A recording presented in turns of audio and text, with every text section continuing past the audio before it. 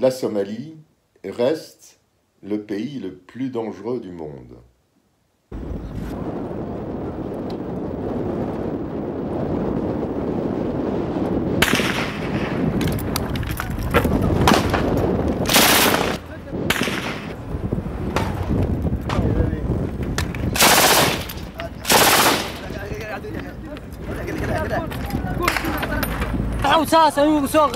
J'ai vu sa tête, j'ai vu sa tête. Je l'ai raté. Et les deux autres qui étaient sur le mur. Est-ce qu'ils ont tiré? Faites attention, nous ne sommes pas encore arrivés.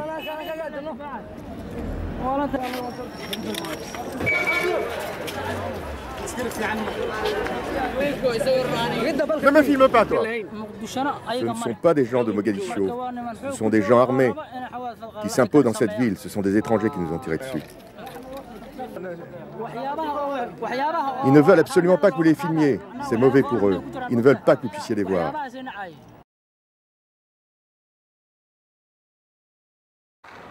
Et puis d'un seul coup, les balles sifflent. Les balles sifflent vraiment. À ma droite, des hommes tombent. Je me planque. Puis on se relève. L'infirmier qui était à côté de moi tombe, mort. Je ne sais pas vraiment quoi faire. Et d'un seul coup, un choc énorme. Pas une douleur, un choc. Et je tombe. Là, je perds, conscience.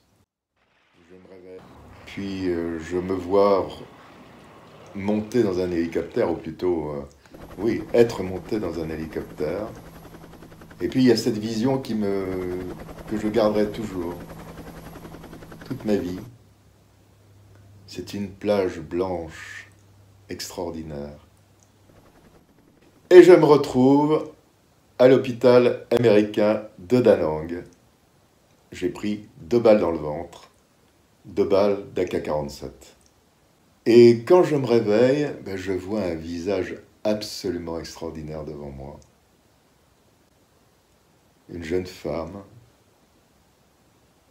Elle a les yeux bleus, elle a un visage. C'est une. Oui. Une déesse. Euh.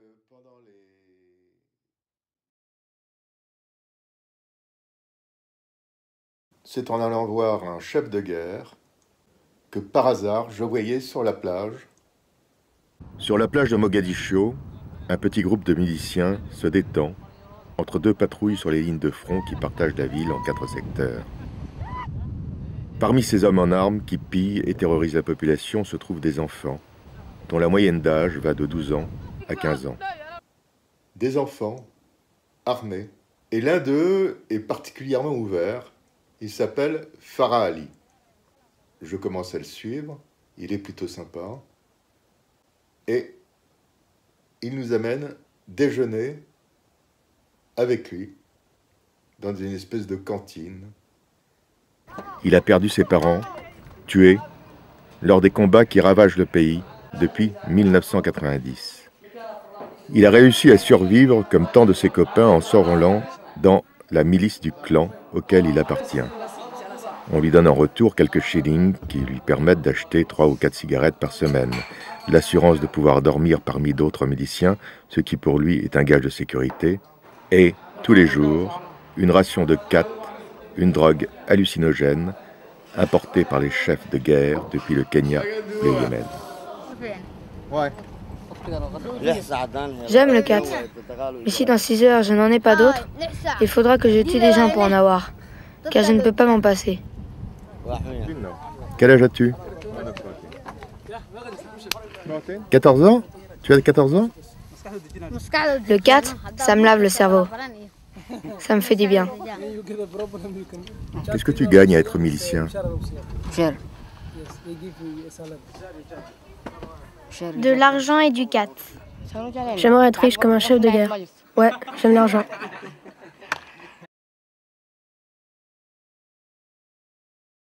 C'est un reportage qui m'a beaucoup marqué.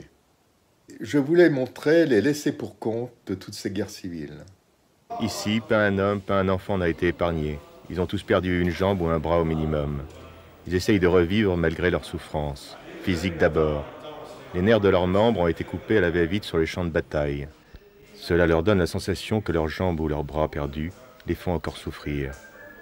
Cela débouche sur d'autres interventions, sur d'autres amputations. Et puis, il y a l'épreuve décisive de la prothèse, qui finit souvent par réinfecter les plaies. Et alors, la gangrène réapparaît.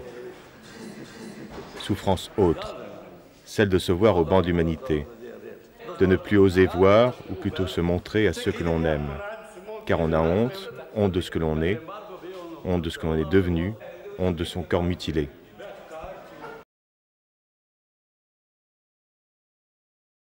Tard dans la soirée, une explosion nous secoue. Cela vient de l'autre côté de la ville. Nous nous y précipitons.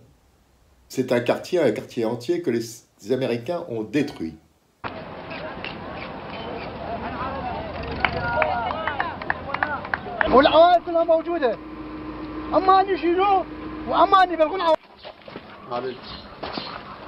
Là, la rage, la haine, C'est ça que je vois. En cette fin de premier jour à Bagdad. La rage, la haine, l'incompréhension. دام خلي عوف الشعب كافي. دمر الشعب جوع قتل سلب نايب. ليش؟ على مود إيش؟ على مود نفط إحنا بكل الأحوال صار 30 سنة مستفادين من النفط خلي ياخذ النفط هذا بوش يد النفط خلي ياخذ النفط كافي. جعنا.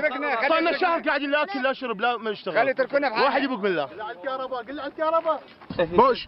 العراق بذمتهم. العراق بذمة بلير العراق بذمة بوش. العراق بذمة العرب. العراق بذمة بوش. بوش بلير إرهاب. هذا بلير صور صور. هذا هذا هاي الحرية اللي يريدوها.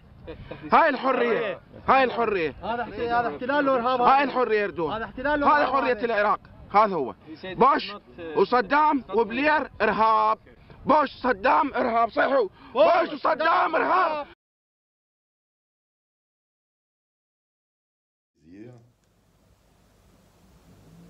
La chose la plus curieuse à l'Olgia que je n'ai vue, ce sont les enfants qui s'enfuyaient en me voyant.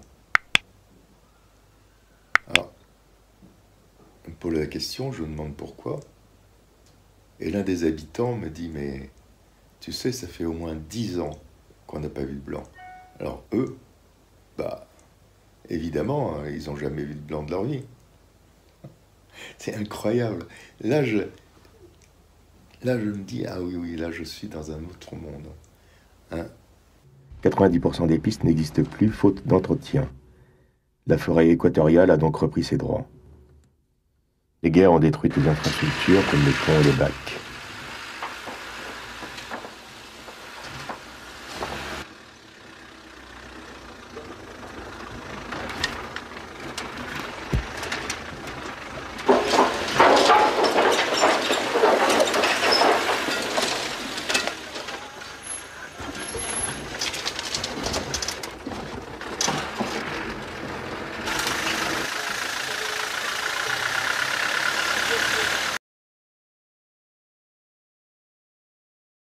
Bonjour, aujourd'hui je vais vous parler d'un reportage qui n'a pas été tourné en, pleine guerre, qui n'a pas été tourné de l'autre côté de la planète, mais bien en plein Paris.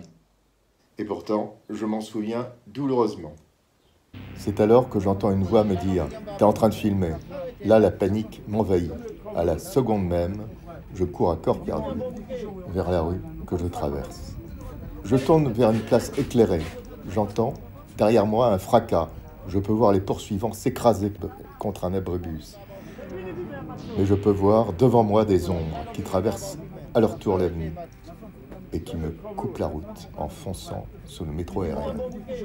L'espoir qui m'avait habité pendant quelques millièmes de seconde s'évanouit et la terreur explose. Je me sens plaqué au sol. Je tombe je vois une dizaine d'ombres se pencher vers moi. Sans doute, quelques minutes plus tard, je reviens à moi. Je vois avec précision la vitrine d'un McDo. je me vois en train de frapper contre la vitre, qui se teinte en rouge. C'est alors que je m'aperçois qu'au bout de mes bras, il y a de drôles de jets. C'est du sang. J'ai certainement des artères sectionnées quelque part. Le lendemain matin, nos contacts arrivent. C'est une, c'est une rencontre assez bizarre avec ces gens dont je ne parle absolument pas la langue, mais ils ont une bonne gueule. Ouais, ils ont, ils ont un, visage assez franc, ils ont une bonne gueule. Des discussions s'entament, je n'y comprends absolument rien. Le patron de l'hôtel arrive et assiste à la, à la réunion. Are trying to win or to get a lot of money easily. Then some of them become pirates in the sea. Some of them become Ce ne sont pas des gens de confiance. Ce sont des gens, ce sont des gens qui veulent gagner de l'argent facilement. Ils sont de mèche avec les pirates. Ils sont de, de mèche avec les gens qui hackent les bateaux en haute mer. Ce sont des gens dangereux. Il nous dit non, il ne faut absolument pas que vous partiez avec eux. Ils se sont dit qu'ils allaient vous livrer pour 40 000 dollars à un chef de gang. La seule chose que cette famille finalement fait en fin de, de partie, c'est voler, parce qu'elle n'a plus rien à faire d'autre. Tu as déjà été arrêté par la police Oui. Pourquoi Ben, pour des vols. Et pourquoi des vols Ben, pour amener de l'argent, quoi. De l'argent à qui Pour ma mère, pour euh, mes frères et sœurs. T'as été arrêté pendant, combien de fois Je sais plus le compter. Sais plus le compter Ouais. 5, 10, 15, 20 plus, plus, que ça même. Beaucoup plus. 50 fois peut-être, ouais, sûr. Plus, Mais incarcéré 4 fois, oui. Et, et voilà l'enveloppe, les sacs à l'arracher. On sent que le métro il sonne et puis on prend le sac qui est dans, de la femme qui est dans le métro. C'est pas pour ça que j'ai été en prison aussi. C'est pour autre chose. C'est pourquoi Pour les, les agressions. Les agressions Oui. Quel genre d'agression Agresser des gens pour prendre leur argent. Et tu les agressais comment Bah, je sais pas. Donne-moi tes sous, sinon je t'assomme. Son frère aîné, lui, purge également des, des, peines de, des peines de prison. Les enfants sont dans la rue. Je voudrais vous parler de moi et de ma passion du feu d'artifice. J'ai eu l'honneur de travailler pour une grande société de feux d'artifice française où j'ai fait des films d'entreprise.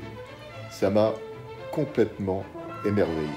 J'y ai connu des personnages complètement incroyables, des gens qui, j'espère, vont vous ravir. Mon premier personnage est Jean-Pierre Ziegler. Il est chimiste. Il n'a qu'une passion, créer des bombes et les tirer ensuite. Mon second personnage est Claude de Vernois. Vous le verrez tout au long de ce reportage. Il est réalisateur et c'est lui qui tire ses feux d'artifice. Alors aujourd'hui, je vais vous emmener au château de Chantilly, où il y avait un des plus grands concours du monde. Toute la planète s'y donne rendez-vous. Alors, attention aux yeux